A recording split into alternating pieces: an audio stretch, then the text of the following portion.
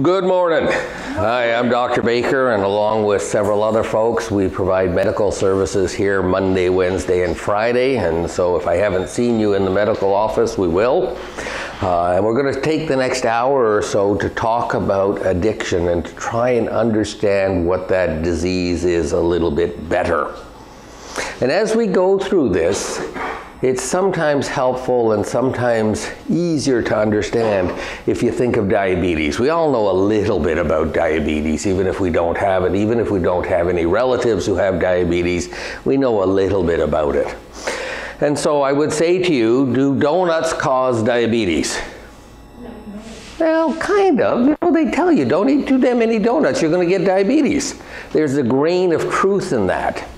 Um, but if we took 100 people coming down the street and put them in a school bus and drove them to, to Tim Hortons and kept them there for a year and gave them six donuts for breakfast, six for lunch, and six for supper, and all the pop they want to wash it down with, at the end of the year, they'd all be fat, they'd all have zits, but only some of them would be diabetics. How come? Why wouldn't they all be diabetics? Yeah, there's this genetic predisposition. There's this something special you're born with that says if you eat six donuts a day, or six donuts three times a day for a whole year, you're going to get diabetes. If we took those same 100 people and locked them in Tim Hortons, the shelves are full all the time, eat whatever you want, as much as you want, there's only one rule. We are coming back in a year, and if you're not diabetic, we're going we're going to shoot you and we'd have to shoot most of them because most of them could not become diabetic uh, if their lives depended on it. So we're going to talk about addiction today, and keep that in the back of your head. We're going to talk about addiction today, and sometimes I'm going to talk about cocaine, and sometimes I'm going to talk about alcohol, and sometimes I might talk about heroin. The disease is addiction whether you're addicted to heroin or alcohol or cocaine, what's going on inside your brain is exactly the same. You might look different, act different, and smell different, but what's going on deep inside is exactly the same. And so if I'm talking about alcohol and your drug of choice is something different, I'm talking about you as well. Uh, and if I'm talking about cocaine and you say all I do is drink, it applies to you as well. And by the end of it, you'll understand why some people like one and some people like the other. Having said that, you know, most of what we know about addiction today is thanks to cocaine. Up until just a few years ago, the major drug of addiction was alcohol. Does al- is alcohol addictive? Yeah. Yeah. But you know, it takes a while to get you. Most people probably start drinking when they're 14 or 15 years old, and they're probably 35 or even 40 before they end up in a treatment center like this. And we've gotten kind of used to them being assholes you know, and there was a tendency to say, oh, he's been a jerk his whole life. Uh, useless, helpless, hopeless, write him off. He's like that. His brothers are like that. His father's like that. Uh, you know, those O'Reillys are just useless. And there was a lot of moral judgment around alcoholism because we just got so used to people being like that, we thought they had always been like that. Along came cocaine. Cocaine wasn't new. 125 years ago, you could order cocaine from the Sears catalog. You can even order the syringes to go with it. Don't bother looking, it's not there anymore. you used to be able to buy cocaine at the corner store, along with opium and a whole bunch of things. It's not there anymore. Um, they used to put cocaine in Coca Cola, which is why it was Pepsi was the pause that refreshes. They still use the coca plant. The plant that's used to make cocaine is still used to make Coca Cola, but there's no active cocaine hydrochloride anymore. They put caffeine now. Uh, to give you that little boost. But so cocaine kind of disappeared. In the early 1900s, we had a huge problem with addiction because you could buy cocaine at the corner store, you could buy heroin at the corner store. We had a lot of addiction. And they passed a whole bunch of laws, and some drugs became illegal, and others became prescription only. And so they kind of disappeared. And the major drug of addiction for a long time was alcohol. Cocaine made a comeback in the 1970s when a bunch of enterprising South Americans realized that they could export cocaine and make a lot of money. So it's 1975 and it's a Saturday night and five guys go out to try cocaine. It was a little different in 1975. Believe it or not, we used to say that cocaine was not addictive. That sounds like a really dumb thing to say today, but our understanding of addiction 40 years ago was not very good. We used to believe that for a drug to be addictive, it had to cause withdrawal. And so if you're drinking a 26 of vodka every day and you've been doing that long enough and you stop drinking, pretty soon you're going to start shaking. And if you've been drinking long enough, you maybe start to hear things, see things, the famous pink elephants. Uh, and if you've been drinking long enough, you'll have a seizure. And that whole complex of things is called the DTs, which is a fancy word for alcohol withdrawal. And so if you're using alcohol on a regular basis and you stop, there is a predictable pattern of withdrawal. I can tell you pretty much what you're going to feel like in 12 hours and 24 and 48. Therefore, alcohol is addictive. If you're using heroin on a regular basis and we take the heroin away, pretty soon your eyes are going to run, your nose is going to run, your guts are going to ache. If any of you done it, you know what I'm talking about. And it's a predictable pattern of withdrawal. I can tell you pretty much what you're going to feel like tomorrow and the next day. Therefore, heroin's addictive. If you're using cocaine and we take it away from you, you just sit there and look at us. It's not that you don't feel anything when you stop using cocaine, but there's no predictable pattern of withdrawal. And we used to say because there's no withdrawal, it's not addictive. We recognize today that drugs that are addictive frequently, but don't always have withdrawal, and drugs that produce withdrawal frequently, but not always are addictive. If any of you have been on antidepressants and forgot to take them for a couple of days, you experienced withdrawal, you know, tingling in your fingers and spinning in your head. But antidepressants are not addictive. So withdrawal and addiction often, but don't always go together. But we didn't understand that. So it's 1975, it's Saturday night, and five guys go out to the discotheque because that's where you went in 1975. None of you are old enough to remember that anymore. To try this cocaine stuff that they've heard so much about. And they had a great time. Uh, and it was just as good as people had told them it was. But you know, before long, one of them was doing it on Sunday and Monday and Tuesday. And before long, the guy, they were lawyers. So the guy said, What's brown and black and looks good on a lawyer? A pit bull. So they were, they were all lawyers on Saturday night. And before long, the guys at the law firm were saying, You know, you don't stop sticking that shit up your nose, you're going to get fired. And before long, he was fired. And before long, the wife said, You don't stop doing that, we're leaving. In fact, we're staying, you're leaving. And before long, he was living out of the car, and before long, he had traded that for cocaine. And it forced us to look at the question of addiction differently. Up until that point, the major drug of addiction had been alcohol. Alcohol takes you down slowly. We had gotten used to you always being like that. We wrote alcoholics off as weak willed, immoral, degenerate bums, hopeless, helpless, useless, don't waste your time on them. This forced us to look at addiction differently. Here was a guy who six months ago was not a weak-willed, immoral, degenerate. Well, he was a lawyer. He was a little immoral, but he wasn't a weak-willed, degenerate bum. He got up every day at six o'clock, went to the gym every day, worked hard. By Western definitions of success, he was successful. Big house, couple of cars in the driveway, educated. Yet here he was, hopelessly addicted to cocaine. What's going on? It didn't make sense. It didn't fit our model. Well, the first thing we realize is that cocaine is addictive. That seems like a really silly thing today. That's not news today. We know that very well. It's very addictive. But if cocaine is so darned addictive, how come five of them went out and played with it and only one of them got in trouble? I don't know. You know, and so it got the wheels turning. It got us thinking that there's something going on here that we're missing. And so there have kind of been two schools of thought. We have known forever that alcoholism runs in families. Okay? Plato, the Greek dude, long, long time ago, said that drunken and harebrained women beget drunken and harebrained children. So the ancient Greeks knew that alcoholic mums had alcoholic kids. They knew that dumb mums had dumb kids, but that's not our issue today. So, for a long, long time, we've known alcoholism runs in families.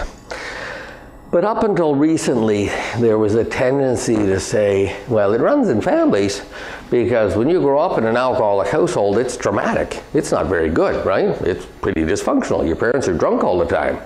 They do not even though they may do the best job they can, they do not teach you all of the things that you need to know as an adult to cope with the inevitable stresses and trials that happen in life.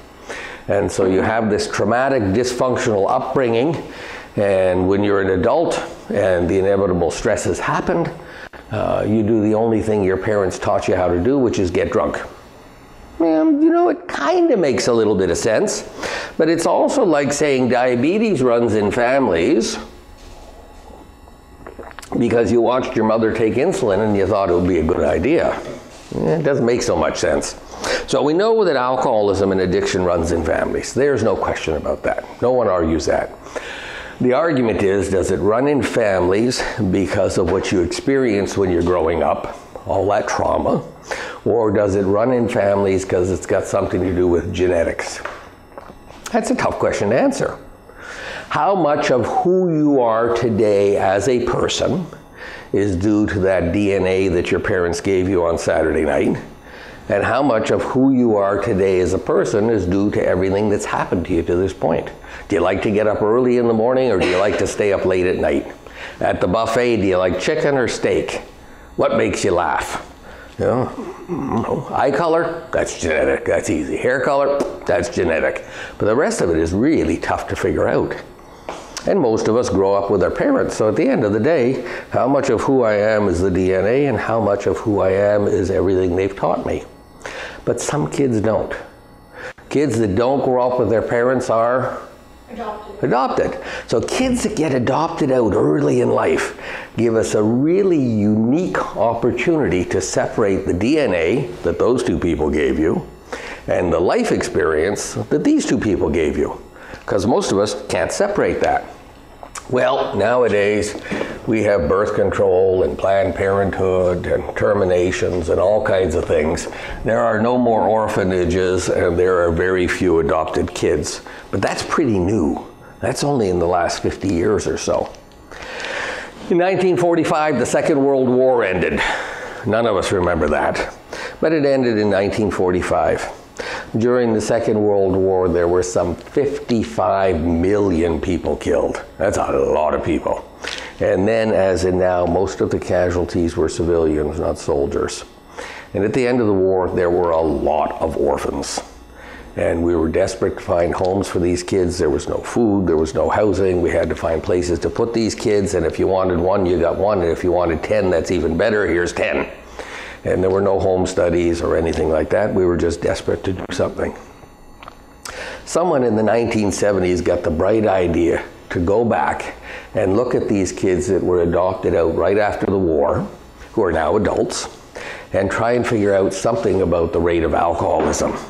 And so they divided them into two groups those whose real parents, dead and gone in the war, had no alcoholism, or those whose real parents, killed in the war, had alcohol history. And they got adopted. And they were either adopted out into a non alcoholic family, families in which there was no active alcoholism going on while they grew up, or they got a little unlucky and they were adopted out into an actively alcoholic family, family in which there was drinking going on while they were growing up. It's 30 years later, they're all in their 30s or even early 40s, and we take a look at these kids and we say, what's the rate of addiction? So if we look at the kids that came from non-addicted parents, their DNA donors didn't have any addiction, and they were raised in a so-called normal household with no addiction. Their rate of addiction when they grew up was under 5% or less than 1 in 20. It was probably less than that, but everyone that was under 5% got stuck in that category. 1%, 2%, 3%, they're all in that group. If you look at the kids that came from non-addicted parents, DNA donors weren't addicts, but they were raised in an alcoholic household. So they didn't come from addiction, but they grew up in addiction. They experienced all that dysfunction. Their rate of addiction when they grew up, unchanged, less than 1 in 20 of them grew up to have an addiction. And so if your parents weren't addicts, it didn't seem to make much difference whether you grew up in a so-called normal household or a dysfunctional one. If you look at the kids that came from addicted parents, dead and gone in the war, didn't even know them, and were raised in non addicted families. So they came from addiction, but they grew up in what was considered a perfectly normal house. Their rate of addiction when they grew up was 40%, or about 8 out of 20 of them grew up to have an addiction. And if you look at the kids that came from addicted parents and were twice unlucky, they got adopted out by other addicts or alcoholics, unchanged, 40%, or about 8 out of 20. And so, what this showed us, among many other studies, is that genetics have a lot to do with your chances of getting addicted. So, let's look at twins. Two kinds of twins, right? Yeah, exactly. Close, close, yeah. Hopefully they're all paternal. Sorry. Fraternal and identical. So if you're a woman in this room and you're in your reproductive years, about once a month you have a cycle. And what happened about two weeks before your period started was that one of your ovaries released an egg. And if that egg bumps into a sperm in the next 72 hours, you get pregnant and you go on to have a baby in nine months. And if that egg does not bump into a sperm in the next 72 hours, it dies and you go on to have a period and repeat the cycle next month. And you have two ovaries, a right and a left. And they usually take turns January, February, March, April. But some women, there's a familial, a genetic tendency for some women to have double barreled shotguns and they fire two eggs off at a time. And if you fire two eggs off, there are literally millions and millions of sperm. They will likely both get fertilized, and nine months later, you will have two babies, not one. And we call those twins. But those are fraternal twins. They come from two different egg, two different sperm. They're so different that one could be a boy and one could be a girl. We give them similar names like James and Jennifer, and we dress them the same and we call them twins, but really they are no more closely related to each other than they are to their brother or sister born two years earlier. Because they're all from different sperm and different eggs. So they're just brothers and sisters, sister and sister. But they're kind of special because they're twins and they have the same birthday. The other kind of twin is identical, and this is a little stranger. So you start off with one egg fertilized by one sperm, and it should go on to form one people. But something strange happens that we don't quite understand very early in the development process, and it kind of clones itself, and we end up with two people. But these two people come from the same egg and the same sperm. They are genetically identical. They cannot be boy and girl, okay? They're both boys, they're both girls, they both have blue eyes, they both have blonde hair, they're both left-handed, they're both whatever, because they have the same DNA. As life goes on, as they grow up, different things happen to them and they start to look a little bit different. But like in grade one, you can't tell them apart. You know, they're just identical. So I said, okay, two types of twins, we understand that. So we went into large treatment centers in the United States where in rooms like this there are literally hundreds of people. And we say, how many in this room have a twin? And the odd hand would go up. And we say, now just fraternal twins. I don't want any identical twins. And of course, most of the hands would stay up.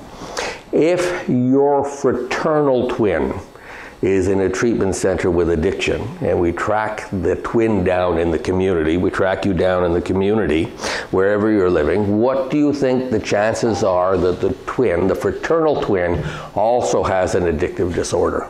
100%. Meh, 40%. Okay? Now remember, these two are just brothers and sisters, right? Okay? So if you are in here, and you are, the chances of your brother or sister having an addiction as well is roughly 40%. Okay? And look at your family. Some of you say, yeah, that's the average.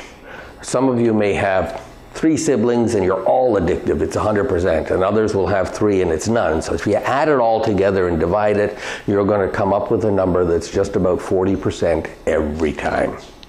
If we go into the room and say, who in this room has a twin? And the hands go up, we say, sorry, just identical twins. Very few hands stay up, but a few do.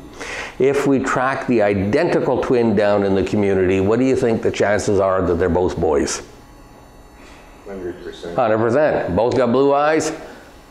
100%. 100%. Both addicts? 100%. That's what you would think. 80%. Yeah, good guesses, all of them. The answer was 95%. So, not quite all genetic, but a large genetic influence. We recognize today in a field called epigenetics that genes can be turned on and off. So, you know, it's only a few years ago in the 50s that we discovered DNA. I mean, we knew that there was genetics. We, I mean, you know, you breed cows, you can breed dogs. We knew that there was genetics and we understood that things were inherited, but we didn't understand the molecules. And in the 50s, we discovered DNA. And we said, ah, okay, now we know how it works. There's this DNA stuff, and it codes for everything that's going to happen to you. How smart you're going to be, how tall you're going to be, how fat you're going to be, what color your eyes are, blah, blah, blah, blah, blah. And we used to call it the blueprint for life, and we figured it was like construction drawings. You draw it on the paper, and that's what the building's going to look like in the end. We recognize that that's not entirely accurate today. The genes can be turned on and turned off and so there's a general plan, but genes can be turned on and off. So this is why it's not 100%. The environment does have a role. And the analogy will go back to the diabetes thing. You know, if one of your parents is diabetic, what's your chances of being diabetic? 40%. 40%. Exactly the same as this. Let's look at one family. So, whoops, I need my different pen. There's a reason for my madness. In medical books, this is how we draw families, called a genogram. Not that it matters. And these people had 10 kids. And this is Patrick or Paddy. And this is Sheila. And between the names and the color of the ink, where are they from? Ireland. The Irish are a wonderful population to study alcoholism in. As the old saying goes, what's rarer than a sober Irishman? Uh, if you understand that this is a genetically based illness, well, that's not truly a compliment. It's not an insult either. Are you surprised to see blonde Swedes? No. No. Are you surprised to see dark Italians? No. No. How come? Because up until just a couple of years ago, we didn't travel. There were no roads. Literally, there were no roads. There were no sidewalks. There were no trains, planes, or boats. Well, there were boats, but those were for pirates and merchants. People didn't go on a trip. Uh, and most of humanity, all of us, were far too poor to own a horse. We had enough trouble feeding ourselves, let alone a horse. And so our world was a few miles from where we were born. You were born in a little village, you grew up in your little village, and when it came time to marry, you married someone close by. Maybe one village over if you were real adventurous. Uh, and so genetics tended to concentrate. The Swedes are all blonde, the Italians are all dark, the Irish are all drunk. It's the way it works. So, Paddy is an alcoholic. He loves his Irish whiskey. He lives for payday because he can go down to the pub, pay his tab, and he knows he's good for two more weeks of drinking. Still found time to father 10 children. How many of those kids do you think will grow up to have an addiction? Four out of 10 is a right answer, 40%. If you have one addicted parent, your chances of inheriting this disease are roughly 40%. Remember that these are averages. Some of you will say, I've got one addicted parent and there's only 10% of us that are addicted. But if you add it all up and put it together, you'll come up with 40%. Turns out Sheila likes her Irish whiskey every, every bit as much as Patrick. Can damn near match him drink for drink, which might have something to do with why they had 10 kids. How many of those kids do you think will grow up to be addicts or alcoholics? 80%. 80% is the answer. It's simple. If you have two addicted parents, your chances of inheriting this disease are about 80%. Uh, and if you look at your own family history, this will probably make sense. It's also important if you think about your kids, because in here, I presume you are for the right reason, which means that you have the genetics to get addicted or you wouldn't be here. And so your children have or will have a minimum 40% chance. Addicts frequently hang with addicts, so there's a reasonably good chance that you will procreate with other addicted individuals. And so your children may indeed have that 80% chance. You can't change that. You can't change their eye color, you can't change their hair color, you can educate them. And I come back to diabetes. You know, if you and your partner were diabetic, and one of you went blind and the other had your feet amputated from your diabetes, you might want to teach your kids about diabetes and the risks of not looking after themselves. Making sense so far? Okay, so by this point, we know we knew forever. The Greeks knew. We knew forever that alcoholism runs in families. Today we know that it runs in families because of genetics. Does poverty cause alcoholism? No. Alcoholism causes poverty. So if you look at postal codes, and all this information is available for Stats Canada, you know, they can tell you what the average income is in that postal code. Poor neighborhoods, rich neighborhoods, easy to understand. And if you look at the poor neighborhoods, the rate of alcoholism is indeed much higher. But that doesn't mean that living in a poor neighborhood makes you alcoholic being an alcoholic makes you live in a poor neighborhood. It's hard to get ahead financially when your addiction is running your life. Does trauma cause addiction? No, addiction causes trauma. If your parents are both addicted when they're raising you, chances are you're going to experience some trauma. And so if you look at individuals who suffer from addiction, they have a high rate of having experienced trauma. But if you understand that this is a genetic illness and the people that beget you and raised you were struggling with their own addictions, it's not surprising that you experienced trauma in your childhood. So we're at the point where we understand that it runs in families. We understand that it's probably got to do with genetics and we're trying to figure out what the heck is going on. Why are some people at risk of addiction and other people seem to be not nearly as much at risk? And so we got some university students. University students are kind of poor. And you put an ad in the campus newspaper, wanted volunteers to study alcoholism, 100 bucks and free booze, they line up at the door. Uh, and they're old enough to sign a consent. And so this is what we did. And we carefully screened them. So you get into the study and we ask you lots and lots and lots of questions. And basically the questions have to do with two things. What's your family history? And so aunts, uncles, grandparents, cousins twice removed. Is there any addiction? No, then you're in this group, the non-addicted families. And over here we have all the Irish kids, so lots of addiction in their families. And so we know that if it's genetic and if there's a risk of inheriting it, the risk is probably higher in this group than it is in this group. Otherwise, the two groups are the same. The same age distribution, the same number of boys, the same number of girls in each group. And most importantly, no one in this group who clearly already has their own addiction. Okay? We then take some vodka and label it with radiation. It sounds terrible, but it doesn't glow in the dark. When you go for a bone scan or a thyroid scan at the hospital, they will inject a little something that has a radioactive marker on it. Beep, beep, beep. And they'll inject it into you, and they'll say, come back in a couple of hours. And when you come back in a couple of hours, they run a very sensitive Geiger counter over you and they see where that radiation has accumulated. We do it a lot for cancer and other things we can do an alcohol scan. You can't go to the hospital and get an alcohol scan. This is a research tool, but it can be done. So we take some radio labeled alcohol that kind of sends a signal out telling us where it is, and we inject it, we mainline it, we intravenously give it to these kids. We give it to them intravenously because we don't want to worry about who had lunch, who had a hamburger, who had three hamburgers, how fast it was absorbed, and all that stuff.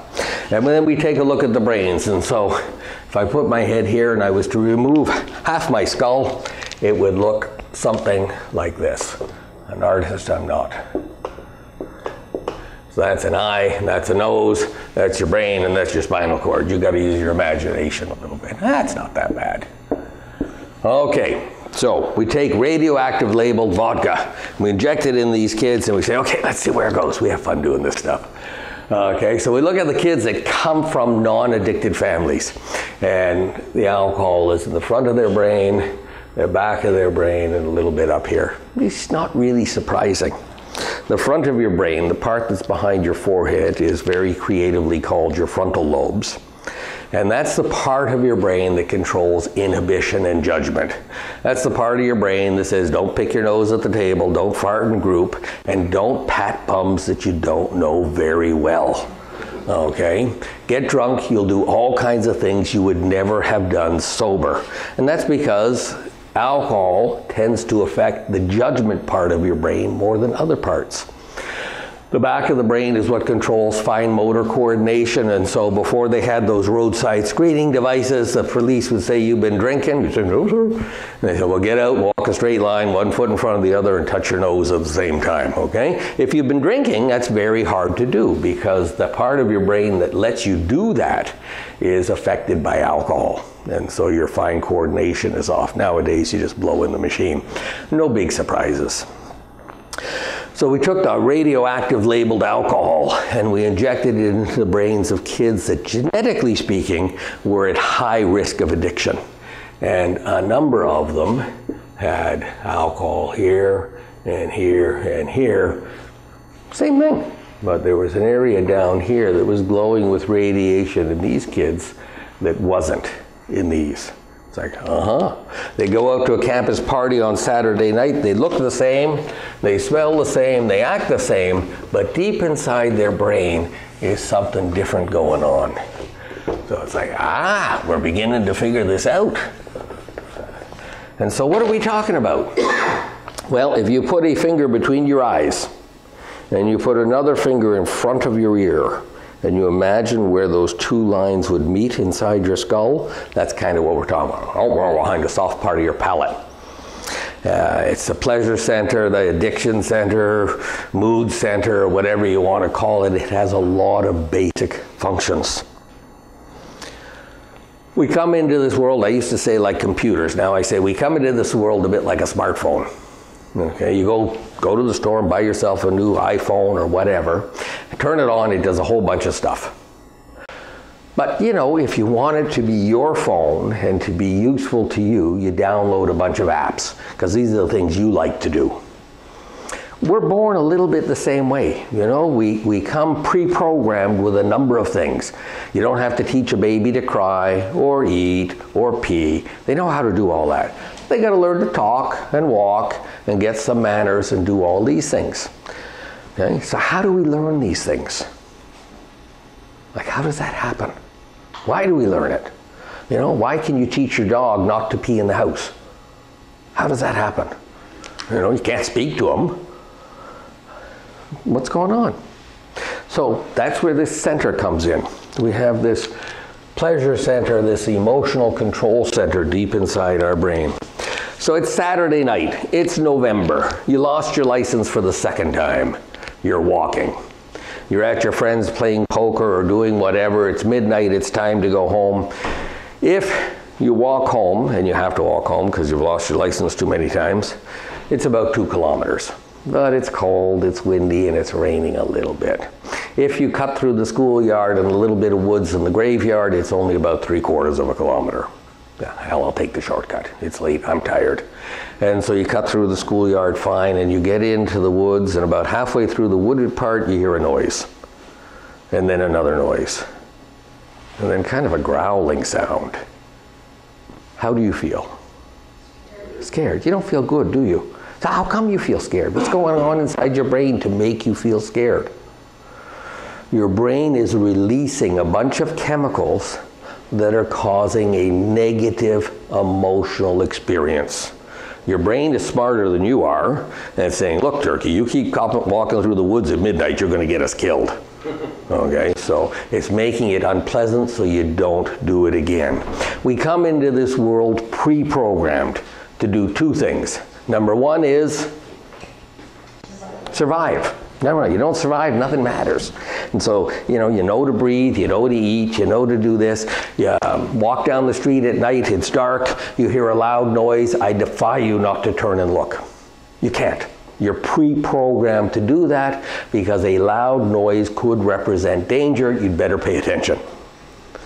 Number two, reproduce exactly if all you do is stay alive for 80 years the game is over so you're hardwired to eat and screw Okay? And, and your brain works to get you to do that.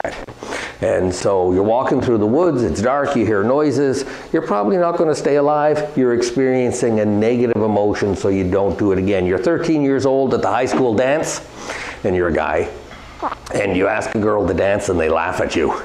How does it feel? Negative, terrible. You're embarrassed as heck. And your brain is flooding you with negative experiences saying you don't improve your pickup line, pickup line you ain't never going to reproduce. Okay? And so that's how your brain gets you to behave. But there's an opposite system to that. That's the negative system. Well, there's also a positive system. And so when my dog finally makes the connection that he's supposed to pee outside, and I tell him what a good dog he is, and I rub his head and I give him a treat, his brain is flooded with positive chemicals and he feels good. And we have the same system. Drugs of addiction. Everything that we get addicted to alcohol, heroin, cocaine, marijuana, I don't care what, has something in common. And what is that? Yeah, that's a little too technical. You're close. But what do they all do? Make you feel good. They change the way you feel. No one gets addicted to penicillin. It doesn't change the way you feel. All drugs that are addictive change the way you feel. If it doesn't change your mood, if it doesn't change you feel the way you feel, if it's not mood altering, it's not addictive. Does LSD change the way you feel? Yeah. Yeah, no, not really. So LSD is called mind altering, and it's a funny distinction. But if I take a hit of acid and go for a walk and the trees walk with me, I might feel good. But if I go for a walk and the trees are trying to trip me, I'll probably feel bad. We never see anyone get addicted to LSD. It's not addictive. It is mind altering, not mood altering. I did not say that it was a good idea to use acid. Okay, I didn't say that. I just said that it's not addictive because it's not mood altering. For something to be addictive, it has to be mood altering. Are other things addictive? Like Gambling. gambling, Sex. sex? Tobacco. Tobacco's a drug, but that's true. Food. Food, Coffee. Exercise. So there are behaviors that you can do that trigger this mood altering system. And if you have the appropriate ability, you'll get addicted. If we have time, we'll talk about that a little bit. So we have a positive system. I want you to imagine that it is 25,000 years ago. We only learned to farm about 10,000 years ago. So 25,000 years ago, we all lived as so-called hunters and gatherers, okay, day by day. There were no fridges, freezers, Safeways, or anything like that. We didn't know that you could grow plants. We hadn't figured that out yet. And we used to go out and get our food every day. And so it's 25,000 years ago. You get up in the morning, the sun is shining, the birds are singing. Ah, what a nice day. Let's go kill something and eat it. Okay, we're motivated to do things. We don't do boredom well. Because up until just a couple of years ago, we've been on this planet for about three and a half million years. Up until just a couple of years ago, we had to get off our butts and do something to survive every day. If we didn't, we died. And so we're motivated, and that's still with us. I mean, a week on the beach, maybe two is fine, but we don't want to spend the rest of our life sitting on the beach. We get bored. We need to do things. And so today we clean the garage or paint the fence or do something like that. In the old days, you'd get up and the sun was shining and you'd go kill an antelope and you'd feel good. And you'd bring the antelope back to the camp, uh, the village, the whatever it is that you were living in 25,000 years ago, and cook up the antelope and sit and visit around the fire and make jokes about Charlie almost falling off the cliff and stuff like that. And how do you feel?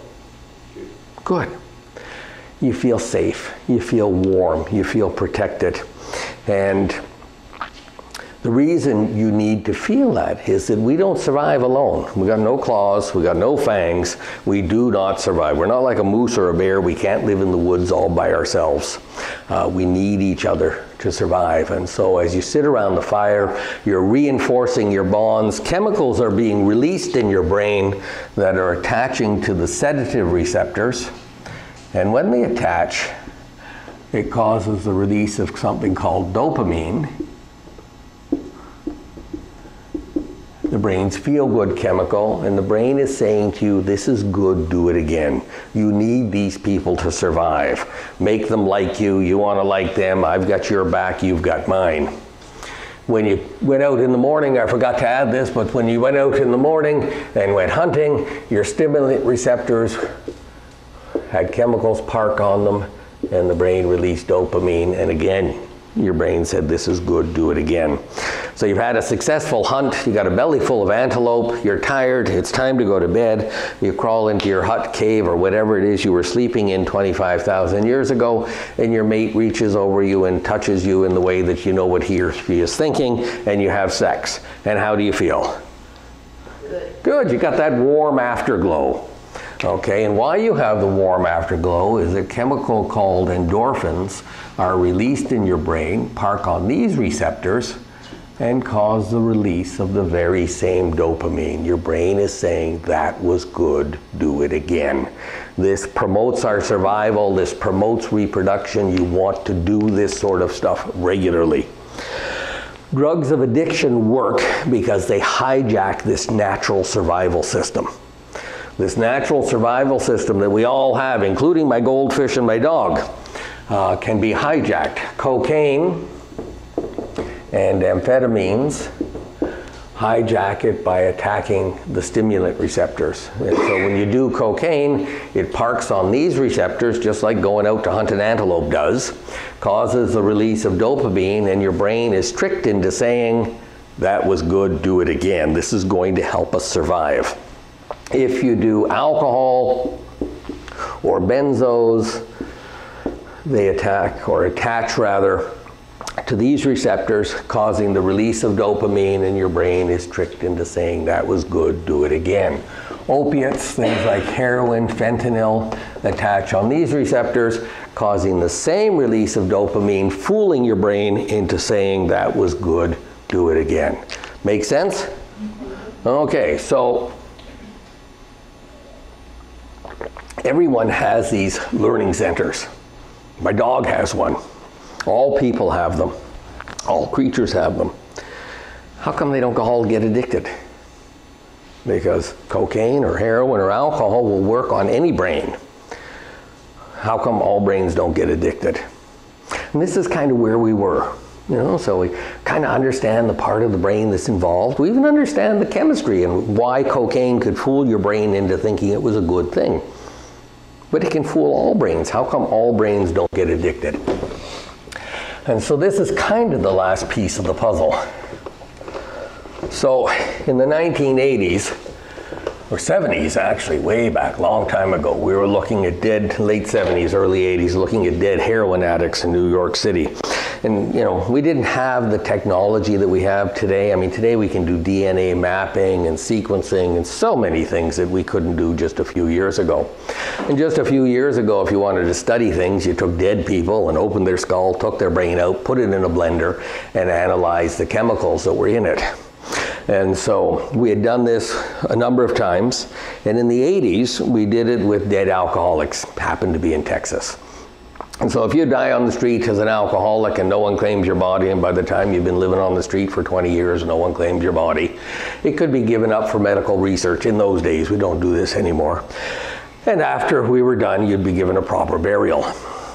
And so we were taking the brains out of dead alcoholics, mashing them up in a blender, trying to understand something about alcoholism and we found a chemical in the brains of these dead alcoholics called tetrahydroisoquinoline. It's a big long word. It's too long to say every time, so we abbreviate it to THIQ. The puzzle is much more complicated than this, but if you understand this, you understand the concept, and that's really what's important. So park that for a minute. The only other place that we had found this chemical was in dead heroin addicts in New York City about 10 years or five years earlier.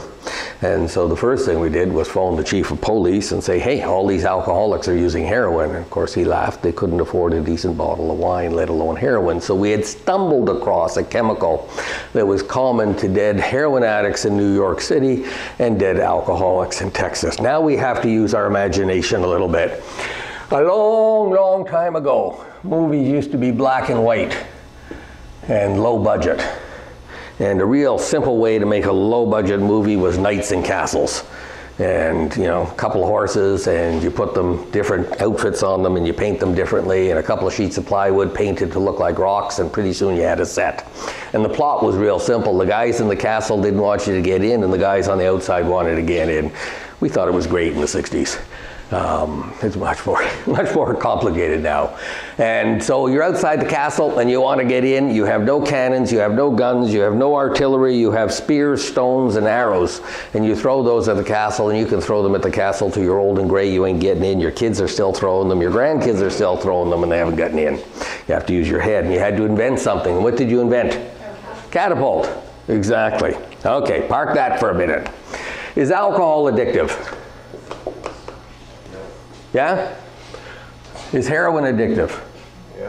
What's more addictive, heroin or alcohol? Okay. Heroin. Is cocaine addictive? Yes. What's more addictive, heroin or cocaine? Heroin. Cocaine. How do we know that? Well, it's not nice, but I'll tell you how we do it. We get Irish rats, okay? So rats, like people, have genetics, okay? And you take a cage with a 100 laboratory white rats. And in one corner of the cage, you put water, and in the other corner of the cage, you put water with just a little bit of vodka. You will find that some of the rats like to hang around the vodka water, and some of them hang around the water water. So you divide the cage in half. All you water water rats go do something else. You take the water, the rats that liked a bit of vodka, and you put them in a new cage that has a little bit of vodka, a little bit more vodka. And you keep doing that until you find really vodka loving Irish rats. Okay? They have the genetics to get addicted, they get easily addicted. And a couple of generations later, you take their offspring, their children. Well, you don't call them children, but they're, they're ratlings. And you addict a group of them to alcohol, and the other group, you let them get addicted to heroin, and the other group, you let them get addicted to cocaine. Now comes the nasty part. And so the rats live in a cage, and over there is the bar where they get their vodka. And they have to walk along a little metal bridge to get to the bar. And they go to the bar and they have their drinks and they come back home and they do it just like we do. But we get nasty. We electrify the bridge. We put an electric current on the bridge. And we see how much electricity the rats will put up with to go to the bar. So little shock, they go to the bar. Little more shock, they go to the bar, but just barely. And you turn the electricity high enough up, the rats will say, forget it, it's not worth it, I'm not going to the bar. Okay, it's too much pain. Rats that were addicted to heroin, you needed to use more electricity. It took a higher voltage to stop the heroin rats than it did the alcohol rats. And therefore, we say the rats that are addicted to heroin are willing to put up with more pain to get their drug than the alcohol rats. Therefore, heroin is more addictive. The cocaine rats were all electrocuted. We couldn't raise the voltage high enough to stop them. They would kill themselves before they would stop. And so on that basis, we say that clearly cocaine, I mean, the heroin rats wouldn't kill themselves. The alcohol rats wouldn't even put up with a lot of pain, yet the cocaine rats would electrocute themselves. And so we know that these drugs have different levels of addiction. Okay, I want you to imagine, we really got to use our imagination here, but it works. At the end, it'll make sense. This is the pleasure center, the emotion center, the thing that we talked about in your brain, finger in front of your ear and between your eyes, the thing deep inside your brain. And it has those receptors that we talk about, place for stimulants to park, a place for sedatives to park, and a place for opiates to park, because that's all part of good survival. And they're all on there. Now I want you to imagine that this is covered with three feet of cement cement igloo. Most of you don't have cement in your head, a few of you I wonder. But imagine that this is covered with three feet of cement, a steel reinforced igloo of cement. Every time you get drunk, you take an alcohol rock about that size and you throw it at the wall. But it's a steel reinforced three foot thick concrete wall. You ain't never going to break it. Okay? And every time you use heroin, you pick up a bigger rock and you throw it at the wall but it's a three foot thick steel reinforced concrete wall. You still ain't never going to break it. And every time you use cocaine, you pick up a really big rock, no pun intended, and you throw it at the wall. It's still a three foot thick steel reinforced concrete wall. You ain't never going to break it. And that's kind of what happens in normal people. If you are born with a genetic predisposition to addiction, you are born with THIQ. And THIQ, although only a small part of the puzzle, is like a catapult. And so you surround the castle, you want to get in, and you bring your catapult up, and you don't put anything in it. You just keep firing the catapult. What happens? Nothing. And the guys over there are throwing the rocks at the castle by hand. What happens? Nothing. Put the two together and magic happens. And so if you have the genetic predisposition to get addicted, every time you get drunk, you take an alcohol-sized rock and put it in the catapult and fire it at the wall. But now the rock's hitting kind of hard, zing, and bit by bit, that three foot thick steel reinforced concrete wall will begin to chip and crack and break. And for most people, it probably takes about 20 years from first drunk to hopeless addiction. If your drug of choice happens to be heroin, you put a much bigger rock in the catapult and fire it at the wall. Not surprisingly, the wall breaks more quickly. It takes about two years. And if your drug of choice happens to be cocaine, you put a really big rock in the catapult and fire it at the wall. And cocaine will do to your wall in six months what alcohol takes 20 years to do. But it does exactly the same thing. Once that wall breaks, that process gets set up called obsession, compulsion, and craving. Most of you can probably remember a time in your life when you could drink or use, take it or leave it. You know, you were normal. But it changed. Can't tell you what day it changed, what week, what month. I'm not even sure what year it changed. But you go from using because you want to to using because you have to. You can't stop. You can't control it. And that's when the wall broke. Once the wall breaks, that process of obsession, compulsion, and craving gets set up. And once the wall breaks, it never grows back. AA says once a cucumber becomes a pickle, it don't ever become a cucumber again. You have one addiction center and one wall, the wall never grows back. And even if you broke your wall with alcohol and nothing else, uh, you don't have two years of heroin and six months of cocaine in you because that one wall is broken. You're addicted to drugs you haven't even tried yet uh, because you've set yourself up. And we'll come back to diabetes. You know, you don't look after yourself very well, you had diabetic parents, you didn't pay attention, you got diabetes. And you end up in the hospital. And we talk to you and ask you lots of questions, and we find out you've been eating 12 donuts a day. You can't eat 12 donuts a day if you got diabetes, otherwise, you know, you're, going to die young, you're going to go blind, all, all kinds of horrible things are going to happen to you. You say, okay, doc, I got that. I'll switch to cookies. You know, it doesn't make sense. Once the diabetes is set up, you're a sitting duck for cookies, candies, uh, donuts, cake, whatever. And once an addiction gets set up, you're set up for all the drugs, even things you haven't tried yet. Does that make sense? So how come some people like cocaine and some people like alcohol? And some people like everything. Garbage junkies. Anything will do. And there are such people. So let me help you understand this and then we'll wrap up. So, where does addiction happen? Deep inside your brain, that pleasure center. Why is it there? Stay alive and reproduce. Okay, it's your it's your driving center. It what's what tells you whether what you've just done is good, bad, or neutral. Okay, it's a, it's a very strong force in your life. It guides far more things than you realize. And it has receptors. And we talked about how it has stimulant receptors where cocaine can trick us and park on it. It has sedative receptors where alcohol can park. And it has endorphin receptors where things like heroin and fentanyl can park. And that's kind of how we're made. But you know, some people, we all have 10 fingers. Hopefully you still got them. Uh, we all have 10 fingers. These ones can't play the piano worth a damn. I don't know, maybe yours can. So we're the same, but we're different. And we all have these receptors. But you know, some people might be born with a lot of these receptors. And if they use a drug like cocaine, there are many places for that drug to park. And every time it parks, it releases a little bit of dopamine. And they're going to release a lot of dopamine. And their brain is going to say, damn, that was good, do it again. If you're an individual that is born with very few receptors, what happens?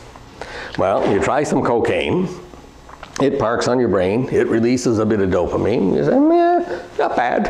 What's the rest of the cocaine do? Somewhere else. Yeah, it's like Walmart on the 23rd of December. The official draw shopping day of us guys, we go to our favorite boutique, Walmart. And what's the parking lot like? Packed, because every other guy is in there doing the same thing. And is there anywhere to park? No. What do you do? Drive around. Can't go home. Christmas is in a day and a half. I got to shop. Okay? So you drive around waiting for someone to leave. And that's exactly what the cocaine does. It just floats around waiting for one of those spots to become empty. And you've been driving around the parking lot for 20 minutes. What do you do? You don't find a parking spot. Well, you park where you're not supposed to. You park in front of the dumpster, you park in the pregnant lady spot, you park in the handicap spot, you park somewhere you're not supposed to. And that's exactly what the cocaine does. And when the cocaine parks where it's not supposed to, you see cops in the bushes and all kinds of uncomfortable things like that. And so that brain says, yeah, it was all right, but I, I didn't really like it. It made me uncomfortable. And so that individual is not likely to be liking cocaine. And other brains can have lots of sedative receptors, they'll really like alcohol, or lots of opiate receptors, they'll really like opiates. And this is why we all have those receptors, but we don't have exactly the same number. Make sense? Okay. Can you get addicted to other things? Yes. What did we talk about earlier? Sex. Yeah, so how do those things work? How do you get addicted to those? Exactly the same way. So, if I give my dog some food, how does he eat? Anyone got a dog? No one's got a dog? Gobbles, Gobbles. Why does he gobble? because he wants to get it all in. That's right. There might be another dog coming just around the corner that's going to eat his food. It's an evolutionary advantage. You know, dogs like us lived in the wild just a little while ago, and kibbles and bits didn't exist for them either. And when they came across some food, perhaps there was a bigger dog or a lion or something that was going to come and get this food, I'd better eat it as quickly as possible because I don't know how long I have to enjoy this meal. We're not a heck of a lot different. A few years ago, we lived in the woods, and when we came across some food, we'd best eat it as quickly as possible and as much as possible, because maybe we're going to get chased off by a lion too. And so you have a stomach, and as your stomach stretches, it releases a chemical, and that chemical calls endorphin. And if it sounds a little familiar, it's because it parks on these heroin receptors. And so you eat a big turkey dinner, and oh, you're stuffed, and it almost hurts, but man, it somehow feels good. we do it again. We all have that because up until just a couple of years ago, we had to eat. And we had to eat quickly, and sometimes we had to eat a lot because there might not be food for two or three days. Some of us have a really strong system. We all release endorphin when we overeat, but some of us release a lot of endorphin. And if you release a lot of endorphin, you get a much stronger dopamine response, and you're at risk of getting addicted to food. It's exactly the same process as heroin going on inside your brain. Exactly. What else is addictive? Sex. Sex. So sex works exactly on the same spot. So you have sex, you have an orgasm, you roll over, and how do you feel? Good, great. Yeah, you got that warm afterglow. All is right with the world, you know, and that's a good thing because Mother Nature wants to program you to do that often. If you don't do that often, you won't reproduce. If you don't reproduce, we're not going to be successful as a species. And so that's a positive behavior. We all have that response, but we don't all have it the same. Some people get a really big hit of endorphin, and it's far more rewarding for them than it is for the average, and they can get addicted to sex. What else can we get addicted to? gambling. And so what's it like in casino? Is it kind of a relaxing, mellow environment?